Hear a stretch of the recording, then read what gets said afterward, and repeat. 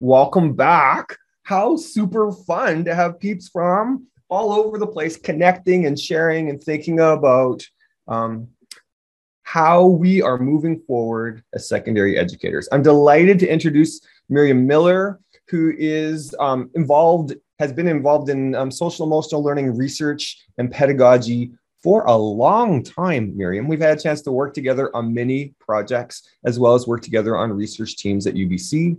And so I'm here to celebrate Miriam. She's going to talk for about for a chunk of time. We'll go back to breakout groups to de- um, debrief. Then we'll come back and she'll do one more piece, and then I'll close at 4:25 to send y'all home at 4:30 um, PST. All right. Well, hello everyone, and welcome to this next segment that focuses on social and emotional learning in secondary schools. I am so grateful to be joining you all from the traditional ancestral unceded land of the Musqueam, tsleil and Squamish Coast Salish peoples. And I am um, choosing to be grateful for this very wet, gray day that we're experiencing and trying to find the same joy that my young son found when he discovered it was raining today and he was excited about those puddles. So, just by way of coming into this space, I invite you just to take a moment and maybe take a nice inhale and exhale. And notice the ground beneath your feet. Maybe notice the chair as it's supporting your body. Maybe notice some other metaphorical supports that you have right now in this moment. And just another nice inhale and exhale.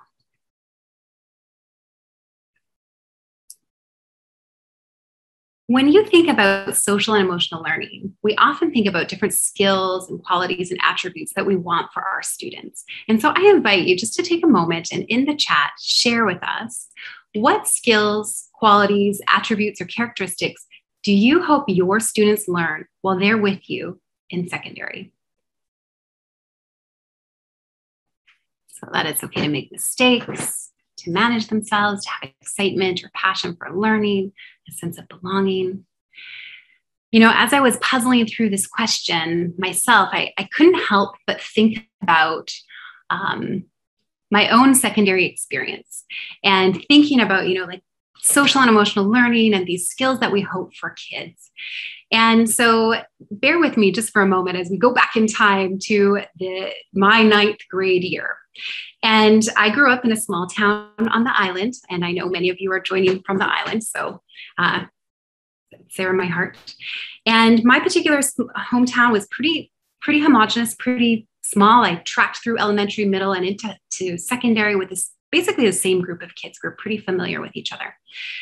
And I remember feeling just the promise and potential of secondary.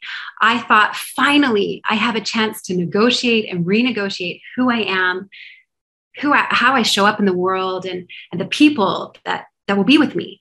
And so I just felt this enormous potential for secondary. And in that very first week of ninth grade, you know, I was with some of my friends, we we're hanging out outside, and I noticed across the way at the, the bike racks was a single student who was walking around by himself. And he was clearly different. He was out of place. He seemed um, new. In fact, he was new. And I said to my friends, Hey, I think that's a new student. And everyone seemed kind of indifferent, like, Yep, that there, that's new. That, that kid's new. And that was it. And a few days later, you know, we kept gathering at the same spot and having our lunch. And I looked across and I saw this kid again who was clearly different. He wasn't in his 90s grunge kind of plaid and big jeans, and he was wearing cartoon shoes and a button down shirt. And I said to my friends, I don't think that kid has made friends yet. Do you think that we should in- invite him over and have him join us? And the unofficial leader of the group looked at me with her hand on her hip and said in the most scathing way, Mim, if you go over there and invite that kid to come over here to sit with us, you will never be cool. And I looked at the rest to see, you know, like, is this true? What, what's happening? And no one said anything. So she continued, if you go over there and have lunch with him, you're going to choose between us or him. Is that what you want for the rest of high school? Now, I'm not going to finish sharing out what the, the end story is, but I will admit here is my a, a picture I dug up from the yearbook. So you could see I'm on the right that probably I didn't have much to lose as far as being cool or not. Uh, just this is just who I was. This was part of my identity. But in that moment, was one of those what we would call a sliding glass door moment, a sliding door moment, where there's something seemingly inconsequential that's before us that is a choice that provides potential um, trajectories for our life. That that simple choice will change how we are and how we show up in the world. And so I wonder, I return to this moment over and over as an educator, and I wonder how is it we can shift the climate and culture in secondary schools where we are cultivating communities that first center humanity that move beyond kindness to promote social justice and advocacy, that we do what's right because it's right, not because it's cool, not because it's kind, but because it's right. That we can have communities that acknowledge and celebrate our unique differences in the way that we show up. I wonder in secondary, how can we encourage students to step into their full selves and grow in their identity without the risk of exclusion? And lastly, I wonder how do we co create conditions within a community to foster meaningful, positive relationships? And so these are the questions that I wrestle with, that I think about. And, you know, there's tension in secondary because of the structures within the way we, you know, secondary schools are designed. And so sometimes we shy away from these conversations. So I'm just going to bravely dive in and, and jump in and, and try to make some sense and make some meaning with you all about how we might do this. So, your comments in the chat about what you hope for your students really are the qualities and the skills of social and emotional learning. You've already essentially defined what it is. And when I think about that big picture of what is social and emotional learning, I think first we need to attend to the fact that this is not a new concept. That although it's a, you know, SEL is a Western term that's been popularized in the last 20 years or so, that really the centering of humanity is a concept that is true in, in, in many Indigenous communities and has been from forever. And so I want to just recognize that this way of knowing and being and honoring our whole selves in relation to others, in relation to human and non human beings, is really a, um, at, at the core, at the heart, is an Indigenous approach to teaching and learning. From the, the Western side of things, CASEL, the Collaborative for Academic, Social, and Emotional Learning, has created uh, a very dis, sort of succinct definition of social and emotional learning. And this is the, the process of acquiring these skills and qualities um, related to emotion management and emotion recognition, to setting goals and, and self concept, knowing who we are, to having relationship skills and making responsible decisions. These are the, the clusters of competencies that we refer to as social and emotional learning. And we have, thankfully in BC, uh, mandate to integrate and embed aspects of social and emotional learning across curricular areas, across discipline, because really a lot of SEL um, is, you know, part of our core competencies. So there are many, many skills and attributes, many of which you have already named that kind of fall under the umbrella of social and emotional learning. And so sometimes I feel a little overwhelmed when I think about this because I think we're trying to include almost everything and the kitchen sink here. But I'll borrow Leyton's words we're going to think big, but we'll start small.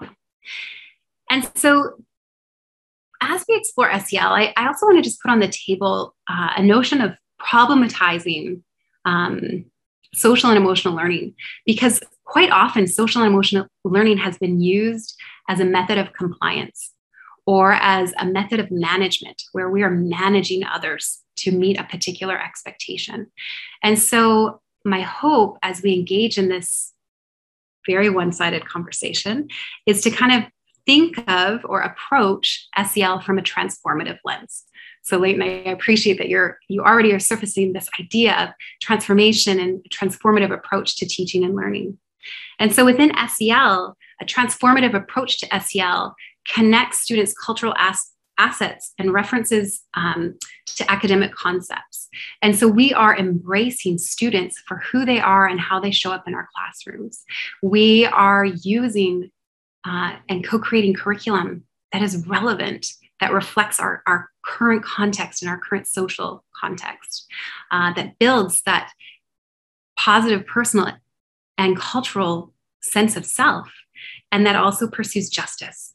So we're not using SEL just as a way to feel comfortable and warm and connected, although that's important. We're also using SEL to step into and stand up for um, social justice, for advocacy, for um, really addressing more challenging concepts and conversations. So there are lots of folks who are reconceptualizing what SEL means. And I just want to also surface this. I love the addition of um, having this sense of self love. So it's not just knowing who we are, but also having that positive self concept that I'm not just confident in who I am, but I actually deeply appreciate who I am and I believe in my value. And that's reflected by others, that others believe in my value, that I have a sense of self efficacy, that I believe I can do things, that I'm capable. And that reflects also with growth mindset. So, this, um, uh, these two authors have reconceptualized how we might think about SEL that uh, welcomes um, diversity and maybe takes more of a, an equitable approach to how we talk about this. All right. So Leyton also mentioned that I've been talking about and working in the field of SEL for a long time. And so I'm working right now on my dissertation. Perhaps I should be writing, uh, working on it right now, but here I am with you folks. And so some of the things that have emerged as I've looked at SEL and you know talking with educators for over a dozen years is that first SEL is a way of being.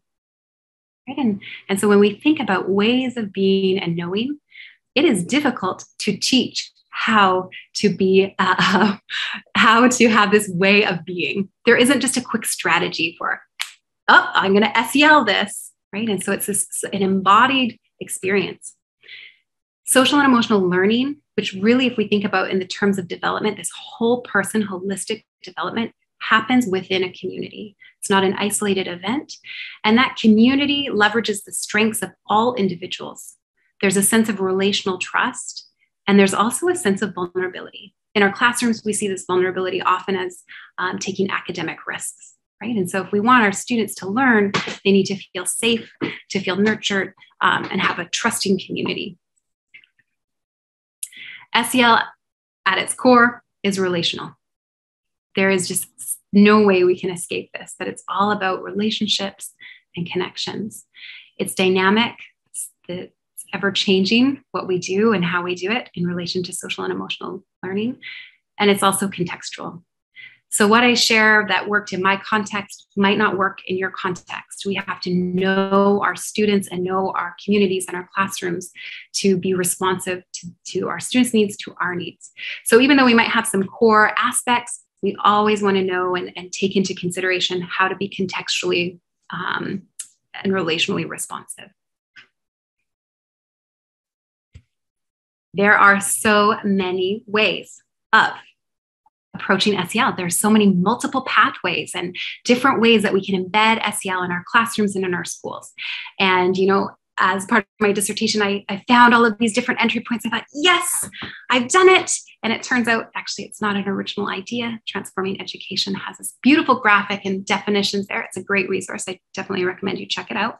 Um, but there are these multiple pathways for this dynamic relational um, contextual piece of SEL.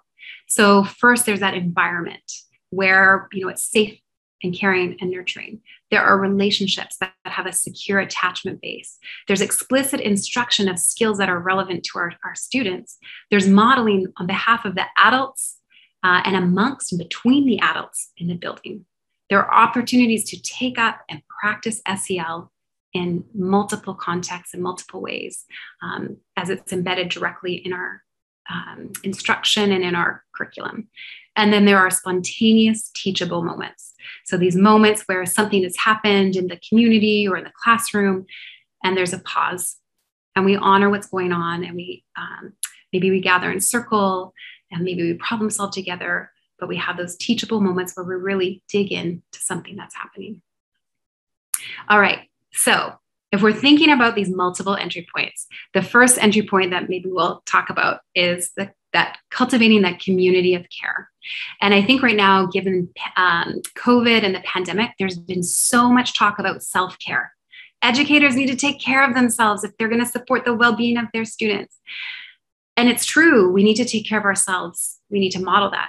But we also need to um, experience the care of a community because community care is self care. And so here's that relational piece. Um, so I, I recommend that you consider as adults in your in your building how might you cultivate a community of care amongst the staff and then in your classrooms what might you do to create that community of care in SEL, we talk about the community and the environment as sort of the first main piece that you attend to, because it's in that environment that you actually learn the skills, these um, social and emotional competencies. And when we do that, we see all kinds of outcomes, right? There's this uh, sense of belonging, a greater sense of attachment to school. We see an increase in positive behavior and a decrease in risky behavior. And overall, long term, when we kind of follow this pathway of attending to the environment and then building skills, we see overall increased academic achievement um, and health, wealth, and well being over the long term. That's what we say. And so, one of the ways that we might be able to cultivate a community of care is by co creating agreements. And so, given my short time with you this afternoon, I am going for the low hanging fruit of SEL. Like this fruit, people, the fruit has fallen off the tree. I am just picking it up and offering it to you. Hopefully, it's in good form. And so, one of these kind of low hanging fruit is co creating agreements in your classroom. Um, Liberate Ed SEL is a fantastic group I can say that because I'm a founding member, so I'm very proud of that. Uh, but we look to set, uh, center racial justice and healing at the core of SEL. And so we have a prompt using a piece of literature, and the, the full poem is beautiful. But you can prompt or provoke a conversation with your students about the nature of community and how we all have a calling to nourish and care for each other. And then discuss you know how is the how is your classroom your community like an ecosystem? And what are the ways that you might nourish and care for each other? What does it what do you need to grow?